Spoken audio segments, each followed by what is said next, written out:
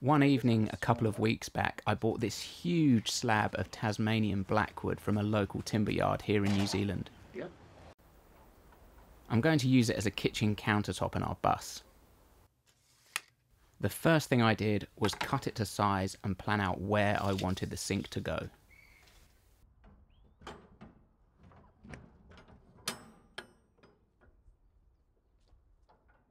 It's a bit of a stormy day today. I think we're going to have a lot of wind and rain, but that's okay because I'm tucked up in the container. I'm just putting or trying to put this sink and get it cut into this huge chunk of wood. Sometimes you ever get that feeling where you think I've bitten off more than I can chew here. Definitely feeling it with this. I could have gone with something a lot more simple. I think the end result will be worth it or we'll have a really nice looking bench and at some point I'll think like, ah, oh, it was worth the effort.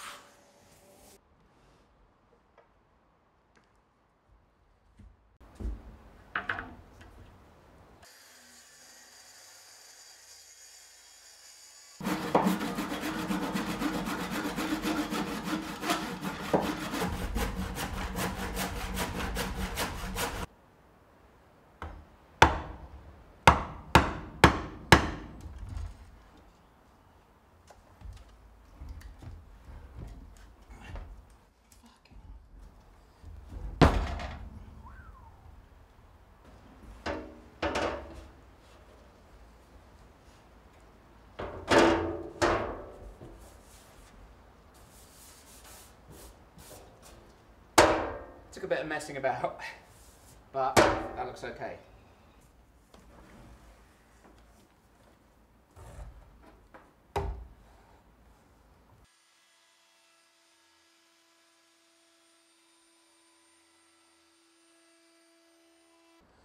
That is amazing. Not used that before. Really does an incredible job.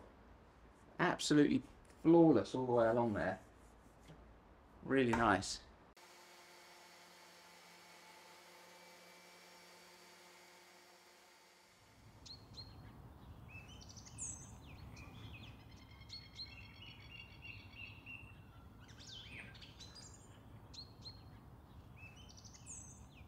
Man, it was windy last night.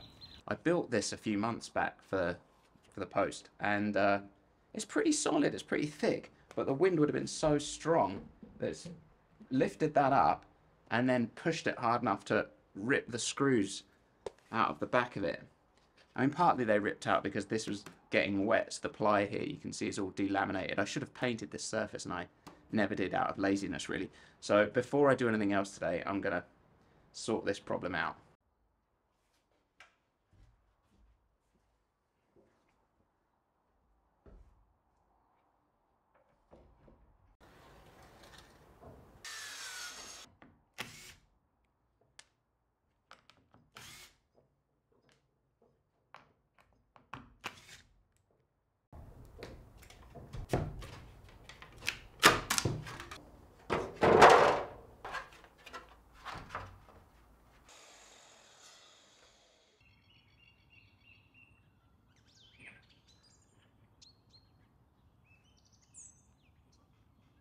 So while the glue's drying on the post box, I think I'm going to put an edge on this.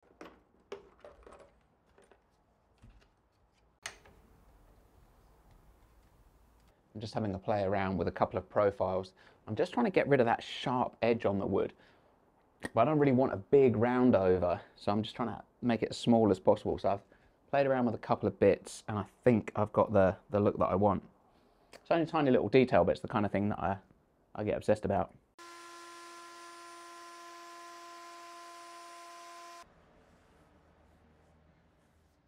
I'm so happy with this. It looks awesome.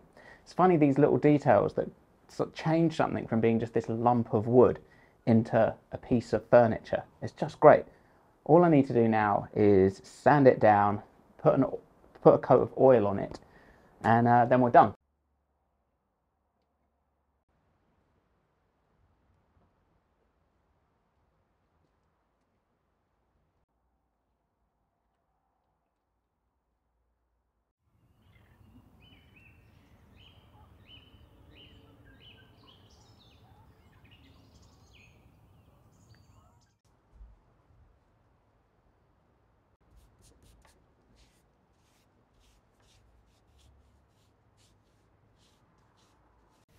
This is looking good. I'm happy with this. I started with about 60 grit sandpaper, worked it 60, 80, 120, and then 240 just to uh, smooth it off. It feels beautiful. It's like almost glassy. So uh, I'm just going to tidy everything up and then put some oil on.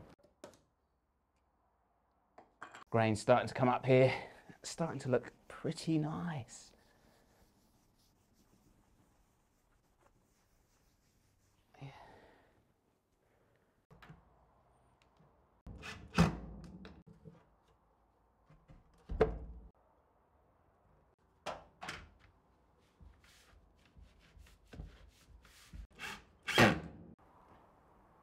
Been jumping backwards and forwards between these two projects today because I want to get both things done.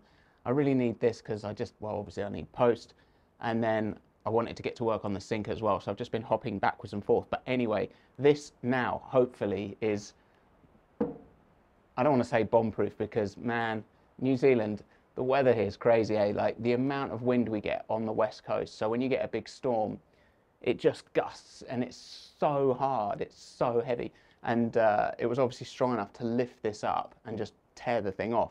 But this time I've added a couple of 2x2s on here just to give it extra weight. So that's pretty heavy now. That, I'm pretty sure the wind can't lift that.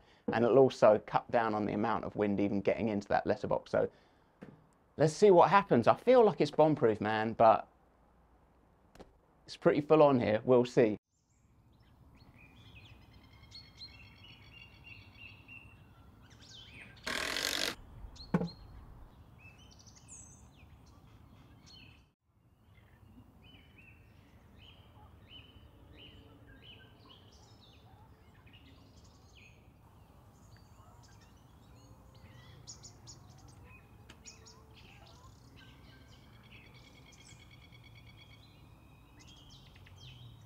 So still this morning.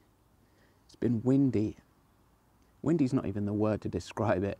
There's been like a howling gale that's been blowing for the past three days, and now there's storm's gone. There's not a breath of wind. It's quite hard to put into words, but there's something that I really like about this where nature is right in the kind of forefront of your mind. It's very relevant. If you're in a city and you're surrounded by man made objects, you're insulated from nature, it hardly seems to exist. And then when you when you experience the kind of the force of nature, I mean, I was sitting there in the bus and the bus is rocking, and all I could think is, is thank God I'm not, you know, out on a boat in the ocean. It, I just can't think of anything worse. And then you feel very grateful. You feel very grateful just to be warm and dry and tucked away out, out of the way of the storm.